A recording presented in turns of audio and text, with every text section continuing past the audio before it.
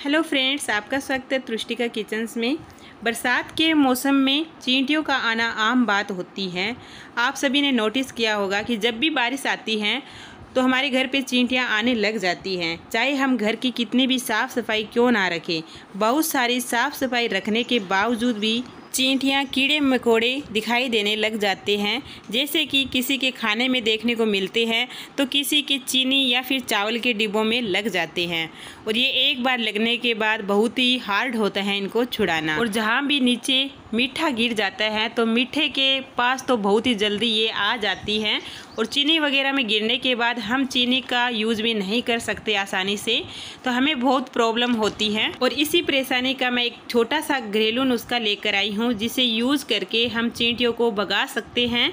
चींटियाँ चाहे हमारे दीवार के अंदर से आती हो, उनको भी हम रोक सकते हैं और वो कभी भी नहीं आएगी। तो फ्रेंड्स, वीडियो को एंड तक देखना, जिसे बहुत ही आसानी से आपको समझ में आ जाएगा। बहुत ही आसान है इसको बनाना। तो सबसे पहले हमने लिया है यहाँ पे एक डिबी तो आप देख रहे होंगे इसमें क्या है। तो फ्रेंड्स, मैं आपको बता दूँ, इसमें लिया है हमने कपूर। तो कपूर वो यहाँ पर ये है कि जो हम पूजा के अंदर कपूर की गोलियाँ यूज़ करते हैं तो वही कपूर हमने लेना है। तो यहाँ पर हमने चार कपूर की गोलियाँ को ले लिया है और अब हम इस पॉलीथीन के अंदर इसको डालकर अच्छे से कूट कर एक महीन पाउडर बना लेते हैं।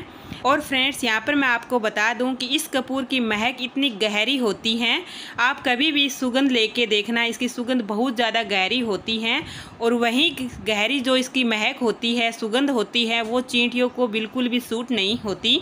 और इसी का हमें फ़ायदा होने वाला है। तो हमें इसको इस तरीके से कूट कर एकदम बारीक पाउडर बना लेना है और इसकी सुगंध से चींटियाँ आसपास भी नहीं मंडराएगी। तो यहाँ पर हमने कपूर का पाउडर बना लिया है और अब हम इसके साथ लेंगे चार से पाँच लौंग। लौंग भी बहुत ही अच्छा रहता है चींटियों को भगाने में, क्योंकि लौंग की सुगंध भी बहुत ज़्यादा गहरी होती है। तो इसलिए हमने चार लौंग को इसके साथ ही कूट लिया है और इसका भी हमने पाउडर बना लिया है।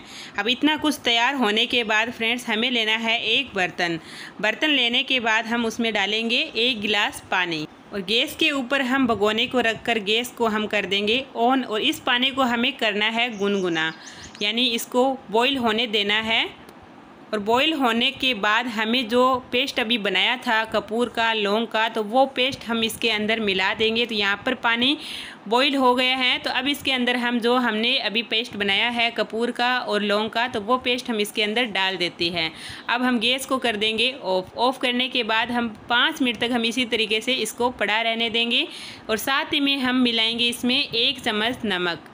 नमक फ्रेंड्स बहुत ज़्यादा तीखा होता है तो हमने जो आइटम इसमें डाले हैं तो वो बहुत ही हार्ड वर्क करेगा यानी चींटियों को भगाने में बहुत ही ज़्यादा मदद करेगा। अगर एक बार आपने इस नुस्खे को अपना कर अपने घर के अंदर यूज़ कर लिया तो चींटियाँ नहीं आएगी। अगर आई है तो वो भी चली जाएगी।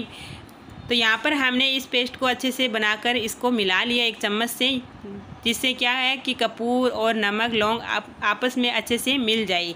और इसको थोड़ा हमें ठंडा होने देना है और एक हम स्प्रे बोतल में इसको भर लेते हैं। तो यहाँ पर देखिए फ्रेंड्स, पानी का टेम्परेचर नॉर्मल हो गया है तो अब इसको हम स्प्रे बोतल लेते हैं और इस बोतल के अंदर इस पानी को हम भर देते हैं। और फिर हमें इसको बोतल को टाइट से हमें बंद कर देना है और उसके बाद मैं आपको बताती हूँ कि कैसे इस बोतल से हम स्प्रे करेंगे, यानी छिड़काव हमें किस तरीके से करना है, जिससे चींटियाँ भाग जाएगी या फिर कभी नहीं आएगी।